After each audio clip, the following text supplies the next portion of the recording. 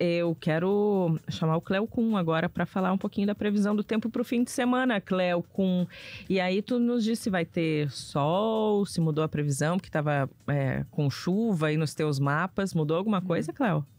Não, não mudou, Andressa. Tem chuva amanhã, tem chuva domingo. Ah, tchau para ti então, Cleo. Tem chuva segunda e tem chuva em setembro. Em setembro? Uhum. Eu tava, quando o Josimar estava falando, fui dar uma olhada aqui nos prognósticos a mais longo prazo. Vi que agosto vai diminuir bastante, mas em setembro ela volta a aumentar. Não a quantidade, mas a frequência das pancadas de chuva no estado, com certeza vão aumentar em setembro aqui na região. Setembro, tradicionalmente, já é um mês chuvoso, né? Porque tem chuva na semana farroupilha, ou melhor, tem chuva na semana da pátria e depois tem chuva na semana farroupilha. Então a gente tem pelo menos duas semanas com chuva normalmente em setembro.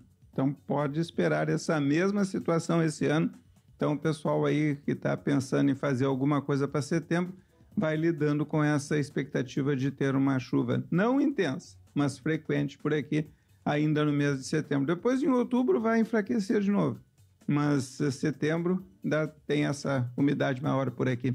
E a gente vai ter na semana que vem, Andrés, a partir de terça, um comportamento de tempo mais seco por aqui.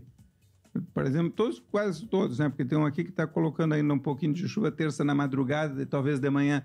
Mas o restante está colocando a partir de terça tempo sem chuva.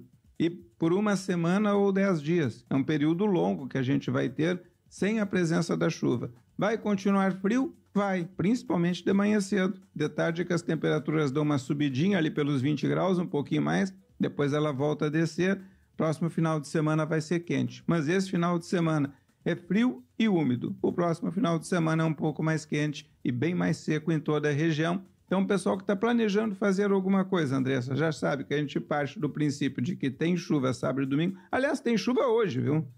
Deixa eu ver aqui, eu não faz... eu tava. É, tá, tá, tá, tá ficando cada vez mais nublado. Tem chuva hoje, mais para o final da tarde, em grande parte da metade norte do estado. Porto Alegre talvez se salve, mas não passa de um talvez. Está crescendo muito a nebulosidade na metade norte.